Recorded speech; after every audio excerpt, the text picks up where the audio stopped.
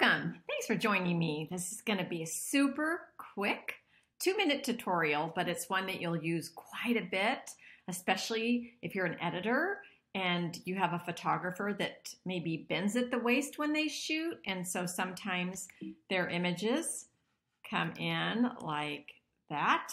Uh, this happens a lot of times with details, if they turn their camera sideways to capture the details at the beginning of the day. So you could, as with all things in Lightroom, there's always more than one way to do something. You could go up here to photo, the drop down menu comes down, and you could put rotate left and do it that way. You can also flip images this way, either horizontally or vertically.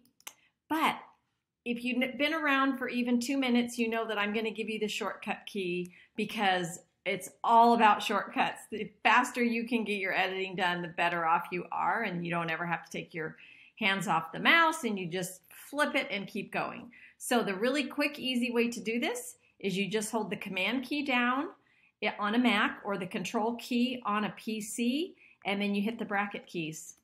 And that is it. If you hit the right hand bracket key, it turns clockwise. If you hit the bracket key on the left, it turns counterclockwise. So you literally just hold the command or control key, hit it twice, done, you move on. So let's say it was this way, just boom, you're done, move on.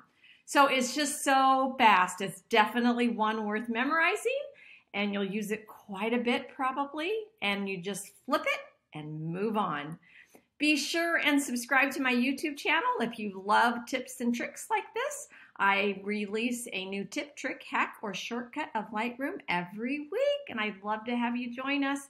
And as always, if you have any questions, drop them in the comment on the blog, DM me on Instagram, and tell me what you want to learn as well. I love sharing what I've learned in the last five years as a professional photo editor, and I love sharing it with others. So tell me what it is you want to learn.